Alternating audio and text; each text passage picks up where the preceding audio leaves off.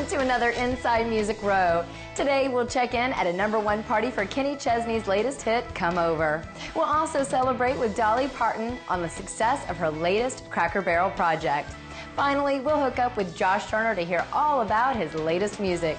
All this and more coming up inside Music Row.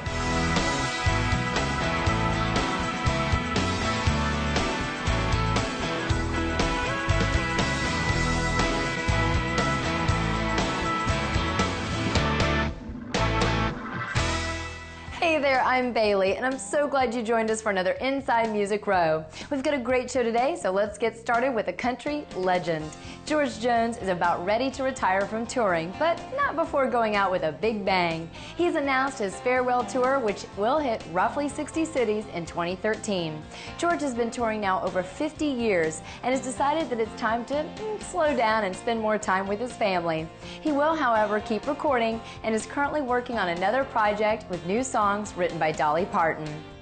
Brad Paisley and Carrie Underwood are teaming up again to host country music's biggest night. The 46th annual CMA Awards show will mark their fifth time hosting together live on ABC November 1st. Charlie Daniels is gearing up for his 11th annual Christmas for Kids concert at Nashville's Ryman Auditorium.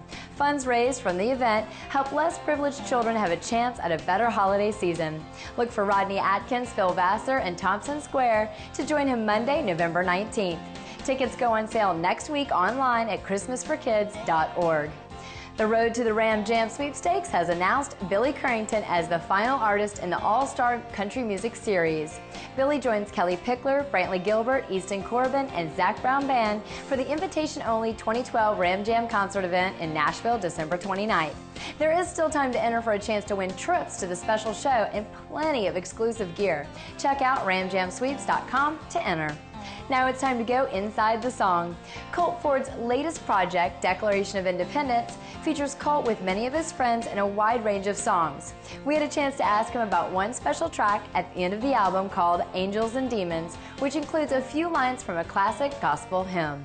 I wrote that with Craig Wiseman, and he's just good lord, that guy's incredible. I mean, just an incredible songwriter. We we wrote a lot of stuff together. Just kind of came together, and I had that I had this idea, and then he just helped me take it to another level, and that was kind of him because he goes, you know what my favorite gospel song growing up was, and and he started singing "What a Friend We Have in Jesus," and I was like, man, that just you know that was that's one of mine too. I mean, and and then we found out that we could use that because the song's been out for so long. You know, it's public domain now, so we were able to put that in there, and and then to you know I, I basically had a prayer or a conversation with God, whatever you would want to call it, at the end of the record, and uh, it's a pretty special song. I'm surrounded by all of these six-string dreams, standing in the spotlight and can't see a thing.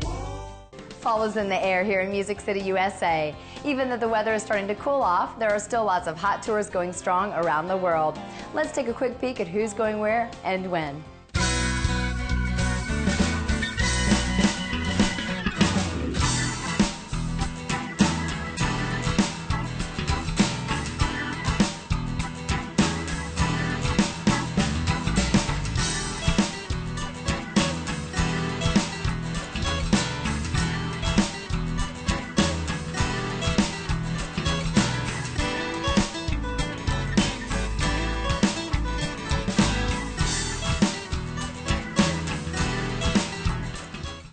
We have to take a quick little break, but before we go, we have some awesome music to give away. We have the latest, Live Across America from Josh Turner.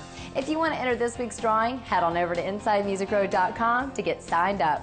Just enter your information or update your profile and you'll be good to go. Now for that break, but don't go away. We'll hit up a number one party for Kenny Chesney's Come Over when we come back. We'll be back in a sliver.